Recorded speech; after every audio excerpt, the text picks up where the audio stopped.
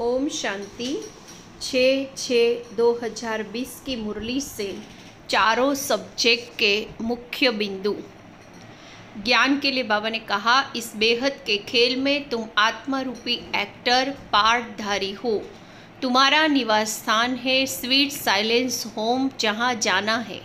बाप है भी रचता, ज़रूर रचेंगे भी नई दुनिया स्वर्ग।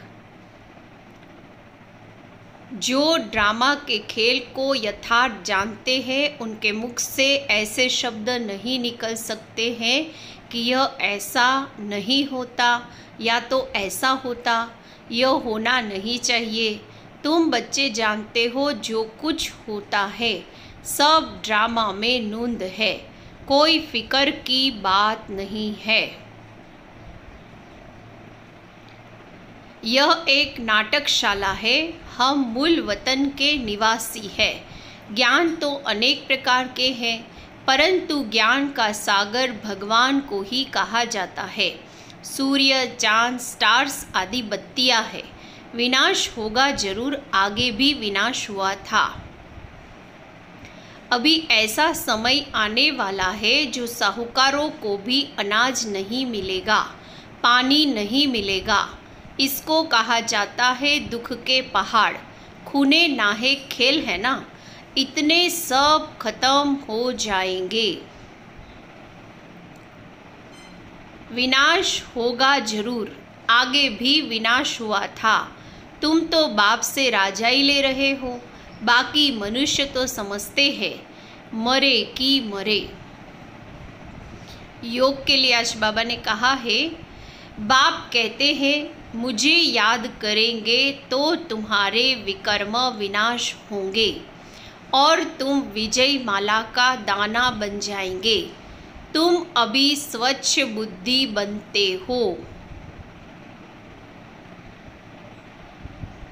अभी सिर्फ़ बाप को याद करना है तो पाप कट जाए।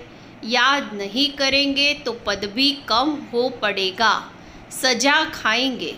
मामे कम याद करो, जीते जी इस दुनिया से, मर जाओ।